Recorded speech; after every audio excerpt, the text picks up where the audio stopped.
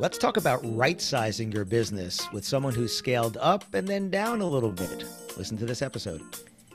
Welcome to another episode of the Wedding Business Solutions Podcast. I'm your host, Alan Berg. I'm a speaker, author, sales trainer, website reviewer, and I help businesses like yours sell more, profit more, and have more fun doing it. Enjoy this episode. Hi, it's Alan Berg. Welcome back to another episode of the Wedding Business Solutions podcast. I am so honored to have my friend Rod McMahon on. Rod, how you doing today? Doing great. We were talking about right sizing, you and I, because you've scaled your business. But let's let's step back for everybody. So first of all, tell everybody your business name, where you are. Sure thing. And that gets a little complicated. The business is straightforward. It's Maximum Music, and we're a, a wedding DJ service in Toronto. But I haven't lived in Toronto since the year 2000. So I spent 20 years on the East Coast living in rural Nova Scotia, raising my family. And then for the last two years, I've lived in Calgary, Alberta. So both of these are 2,000 kilometers away from where the business is. And, and that was something that you and I, when we did a mastermind day up in Hamilton, Ontario, uh, we did one, and everybody else there was thinking, you know, you have to sit across the table from someone to make the sale, and you're sitting there with a little smile on your face in the corner, going, uh, "I don't do that. I don't do that." So, when, when was the last time you actually met a couple face to face? For a while in you know the earlier 2000s, I still had that mentality that you've got to meet with people. So mm-hmm. we kept an office, had a salesperson and an operations manager, and we still followed that bricks and mortar model. Um, but over time, it just realized that it wasn't necessary. So there was a point where I pulled the plug and I started to rent the uh, storefront of our building out to another tenant and, and took everything to be remote as far as sales but that was in like the late 2000s before it was cool to to not go to an office. And uh, so I, I, felt like i was ahead of it. When when covid kicked in it just was no concern as far as virtual. You know we had been virtual for over 10 years by that point Right, and and the, and again, you're making the sale. You're having conversations with people. You're finding out what they want. So, uh, let's give the the quick history for you. You started out as a DJ, and it was just you. It was just me. It was one of those high school things where a few buddies are using an older brother's equipment. Uh, everybody starts to go off to university, and I decide to keep doing it. And uh, you know, still following that traditional model in in rural Canada. Nobody nobody runs a full time DJ service. So, pursuing education, started working with uh, a high school dance company that did video dances all across Canada and did sales for them. And uh, they were moving their head office from Halifax, Nova Scotia to Toronto, Ontario. I went with them. And within the first year, my wedding business went past my salary. So it's, you know, 1994. And I'm like, all right, this is full time and uh, never looked back from that point. I guess the interesting thing is I haven't been an active DJ since the year 2000. So through the 90s, I was hustling to build the business, but then kind of stepped back to to run it remotely and uh, and focus on raising a family and that sort of thing. So yeah, I haven't been an active DJ for a very long time. Right, and at at your peak, how many weddings were you, your company doing a year? We were into that 700, 750 Ooh. weddings, you know, 15 okay. or 16 on a Saturday night, full time, two full time operations people, the van, the warehouse, the office. Everybody was making money except me. That's actually a common story with some of my other guests and people that I speak to is that you grow to a certain point where the gross looks really good but the net is worse than when you were smaller. So now you've brought that back down to how many weddings a year would you say you're you're you're on target to do and you're looking to do for next year? Uh, this year we're we pretty much got the numbers. So for 2022, we'll clock out with about 250 weddings. Mm-hmm. And and with us, it, it's weddings. I mean, of those events, there might be 10 or 15 that are just those odd things that come through the door. But mm-hmm we decided to tailor and to focus the website and the marketing and everything to be wedding experts in a in a world where most DJs want everyone's business. Um, you know, we're corporate, we're AV, we're photo booths. Right. We just you know we don't do big light shows or big sound systems. It's very simple wedding music. Yeah, it's something I spoke about. I just came back from a speakers conference, and speakers are always enamored with my niche because it's so narrow. And they said, you know, your your niche is an, an inch wide and a mile deep. And what it allows you to do, this was a conscious decision of mine, like a conscious decision of yours, by by focusing on that, you put the blinders on and say, yes, there's other business out there. I'm not concerned with it, and I get to grow my business instead of scattering all around. And just like you, occasionally somebody comes to me outside of the wedding and event industry says, "Could you help me with something?" If I'm the right guy, yes. If I'm not the right guy, no. I, will have somebody for you there. And, uh, and your market, oh sorry, your, your yeah. market is international. You yes. are you are the person. You're the brand. You can travel. Right. Uh, with with wedding services, you tend to have to be local, and and fortunately, being in Toronto, we need a very small percentage of the market. Right. Right, right. But but again, what's what's beautiful here for everybody listening is is here is Rod not sitting in his market, running a business, not doing the production work, right? So think about this. If you're a photographer, if you're a florist, it's different if you're a venue. The venue is going to be in that particular area. Yes, you could run a venue from outside. You don't have to cook, right? You don't have to set the tables and things like that. So for those of you that are thinking about your next step, your transition as you've been in the business for a while, and saying, you know, because uh, you know, Rod, there's some guys that are like, "Oh, I'm 40, I can't DJ." Like, um, hello, we know people in their 60s that are killing it out there, and the same for some of the other things. There is a business model like this where you don't have to be out there every Saturday night doing that and have a successful business. So when when was that transition for you? When did you say, "Okay, I'm I'm, I'm just not going to DJ anymore"? That was the physical move to Nova Scotia. So when okay. you leave your your market, so that's 23 years ago now. Uh, it's and it's never looked back. And and from a, a sales perspective, I find it very easy to always speak about how great their DJ is. So someone in our industry, and I, I don't want to misquote it, but they they referred to the Diana Ross and the Supremes. Like there's the the headliner, right. which is the guy who owns the DJ company or the lady who owns the DJ company, and then there's everybody else. Right. Whereas I can take a sales approach of I do what I do best, which is, you know, keeping the details organized and finding their songs and being their point of contact. And the DJs get to do what they do best, which is rock the party. Because my perfect DJ is, you know, mid 30s to early 50s, technically a really good DJ, but someone who grew up and they got a mortgage and they got a career and they they don't want to run a DJ company, but to get paid really well to go out on a Saturday mm-hmm. is a perfect side hustle for them. So I've become a great place for DJs to move into as they tire of the the clubby scene. And and also not wanting to do the advertising the marketing. Uh, do do many of your djs have other jobs?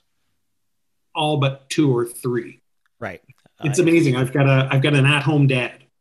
So okay. Monday to Friday, he's looking after the kids. Friday night, Saturday night, he goes out and makes what he feels was the equivalent of a week's work. Right. So, uh, curious, any of your people teachers? I don't, and I've heard on other podcasts that teachers make great DJs. I think the Canadian DJs get paid, or teachers get paid a little better.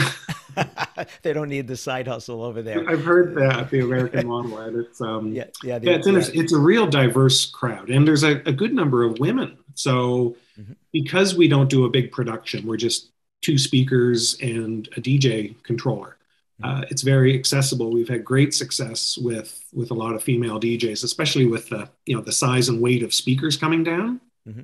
Um, the venues with in-house sound systems, it, it's been great. So if somebody wants lighting, you just refer it out to another company. We have very basic lighting, but okay, we don't we don't push those. I mean, again, you talk about you know unique selling positions and and differentiating and and I'll digress. Having been to your workshops and seen you speaking in in Vegas, there's there's always something different. So wherever you're at in your trajectory with your business, you can you can see a presentation and pull different nuggets out of it. Mm-hmm. Um, so I've, I've done that a few times with you, where it's like, okay, what what will be relevant this time? Uh, uh, I think I may have digressed and gone off topic. What was the question? Right, so, well, talking about you know you're you're not doing the lighting, you're not doing the photo booths, you're not doing all those things. Um, you know, again, that's a conscious decision, right? And and I take the approach because I'm doing all of our sales that what what is best for you and what will give you as the couple the best outcome. You know, are people going to go to brunch with you on Sunday and say that was the coolest light show and the deepest bass I ever heard? Too bad the DJ sucked. You know, like said no one ever. So whereas most DJs want to bring someone into a showroom, upsell lighting and photo booths and interactive things, I'm telling couples that they don't need that. Okay. And, and it's amazing how many people that resonates with. But if they do want it, somebody else go somewhere, it. someone else like it, it tends to be a bit of a, a package. So when I talk about our ideal client. And when I've done over the last 20 years projects to figure out who is our ideal client, where do they live, what do they do, what do they listen to, we have a lot of well all of our clients don't want a entertainer. They don't want a dj who's going to come out in front of the booth. You know we may facilitate some announcements and and do some light master ceremonies duties but we're not going to be taking over the evening. And, and fortunately, that's counterintuitive to the message that most of the other DJs are giving a couple. Mm-hmm. So if, if a couple chooses to talk to three companies, they're going to have two that are talking about photo booths and emceeing and sound systems and gear. Right. And we're going to have me talking to them about DJ who's a team player who works with your officiant and your photographer and your caterer and keeps it smooth and makes sure that the maid of honor doesn't sneak out to the washroom just before her speech. And, and those things resonate with the couple and they start to truly see that we, we do understand weddings and we're not about the production and the show. And I, I think, you know, we, I know you like to give, you know, takeaways and, and give people different ways to look at things. I, I, feel in the DJ industry and maybe in other parts of the wedding industry, there, there's too much focus on the stuff. Like, here's look at my camera, look at my DJ speakers. Right. Uh, well, it, it, it, really it's really the experience, and that's what you're talking about is the experience. But the other thing that you mentioned, again, if people miss this, you know, you're in a market, Toronto, which is a big market, and even 250 weddings a year, which is a lot of weddings is a tiny fraction because I think it's the fourth largest city in North America. So the people that want something different, the people that want a big light show, the people that want to have, you know, two band teams, the people that want to have live musicians and all these other things which you can have. If that's right for that couple, you're not the right fit. And that's okay because it there's enough okay. other right. And, it's okay. Yeah. And I did used to be that guy who wanted everything. So right. if it was an off night or a Friday or less hours, I would negotiate or mm-hmm. take a bit off the pricing. And and now, you know, and I don't mind sharing. We we charge 1,975 Canadian mm-hmm. for a DJ with two speakers. Right. That's it. Right. And what is that? What is that like? Uh, Two hundred dollars US these days? Is it's about right. yeah. it's about the equivalent. Yeah. But yeah. but that is, it's become a fair price. So often with couples, they'll say, I'm in the middle. Okay. We called three people. There was one more expensive, there was one less expensive. So I, am not losing people on price. If, if I lose someone, it's usually it has to do with we really wanted a photo booth and the other company would include that. Right. So yeah, know, that's fair. I, I take that. right. And again, that, that's okay. Again, that's something you chose not to do. And that's important everybody listening here. You chose not to do that. It's like I chose not to have anybody else on my team. If you're going to get someone to train, I just got off a call with someone. I'm going to do a, a remote training call for her team. She wanted me. She wasn't looking for somebody else. She wanted me. So, um, so it sounds like you charge the same price for all of your DJs, right? Yes. There's no one who's better or worse and they don't get their DJ assigned when they book. I do that about four months before the wedding. Okay. So, and and you're explaining that up front to the couple, and it it how do you, let's say you have multiple DJs available, how do you assign, how do you decide who gets it? it's not an exact science. It's for me 35 years of gut feeling and trying to make good notes when I'm on a phone call with them. Okay. To to suss it out. You know, we have multicultural weddings. I would say we've created a niche doing fusion weddings where if, if both bride and groom are Greek, they're going to get a Greek band and it's going to be a Greek wedding. Right. But when you've got a Greek bride and a Caribbean groom or you know a Greek bride and you know some sort of rural Canadian country music loving. they they can't hire one niche. They have to right. find someone who can pull it all together, share time. So so we've really created a niche in infusion weddings of cultures and ages, and and people seem to like that. And can, Canada is quite the melting pot. So and, and Toronto itself is quite the melting pot. Well, uh, it's not so- even a melting pot. I think you know again the, the American model is you come in and you all melt and you become American. And in other countries, and I know Canada fits this, we don't want to, so, so they stay very Greek, Italian, Portuguese. Right They've got their communities. They they really keep their identity, so they don't melt here as much as maybe they do in other parts. Right. Probably the wrong phrase. There's just a lot yeah. of different cultures. No, it is. Yeah. So I, I grew up in New York City in a county called Queens County, one of the 5 mm-hmm. boroughs in New York, which I heard is the most ethnically diverse county in the entire United States. That one county. Uh, and literally drive down the street and look at the signs on the stores and three blocks later they're a different language and three blocks later they're a different language it, it's like that so uh, so how many different DJs do you have access to then? I would say my list is 20. And at the most, this point, we're doing eight weddings, which is almost uncomfortably too many.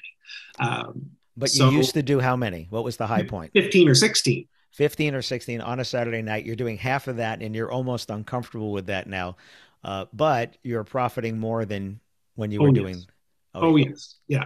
you know, finally, I, I, see I see a retirement horizon. You know, right, did, did, did, everybody, did everybody hear that? Everybody hear that? This is what right sizing is all about. It's not about just more, more, more, more, more. It's about finding the, the sweet spot in your market, in your profit, where when we do X, we're profiting the way that we want to without the headache like you had there rod with twice as many people out there um, i have a speaker friend same thing he reached this milestone which let him get into a certain group and when he was grossing half of that, he was profiting more. Yes. You know, he had bragging rights, but bragging rights don't send you to retirement. Bragging rights don't send you on holiday.